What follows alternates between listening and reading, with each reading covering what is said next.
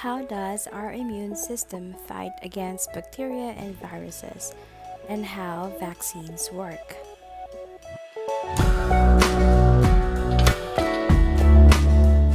There are millions of bacteria and viruses around us. Some are good bacteria, like those that aid in digestion, while some are harmful to our bodies.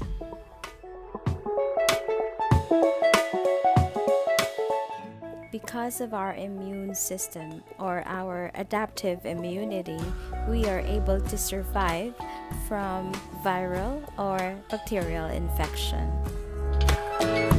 When foreign bodies or antigen enter our body, we feel sick, we cough, or we have fever.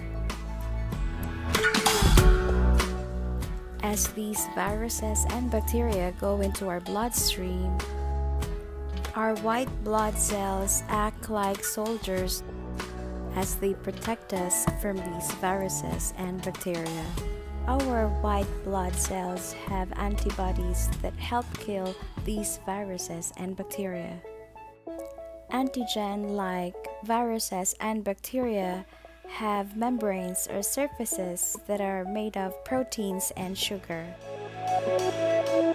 White blood cells have a library of antibodies that have specific structures that can fit into specific receptors of certain viruses and bacteria that have visited the body in the past. As soon as foreign body is detected, the search for the right antibody starts and as soon as the appropriate antibody is found, it latches into the receptor of the bacteria or virus and kills it. These memory cells create copies of this antibody so that when this foreign body visits us again, it will be able to kill it in no time. Symptoms may slightly be felt or not at all. How vaccine works vaccine was developed by Edward Jenner in 1798. It was in 1796 when he inoculated or vaccinated a 13 year old boy with vaccinia virus or smallpox. This boy later developed immunity to smallpox. Vaccines are made of attenuated cells or inactive cells of the antigens or viruses or bacteria that are inoculated into our body to trigger immune response. Some vaccine for viruses contain genetic material of a virus. As it enters the cell, it commands the cell to make more viruses and will trigger immune response.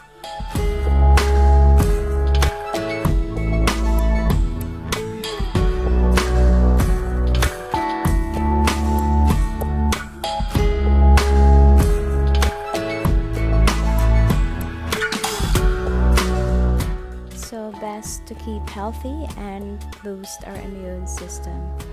Wear a mask to protect us from these viruses and bacteria around us, and best to wash our hands with soap and water as often as we can. Keep safe, everyone.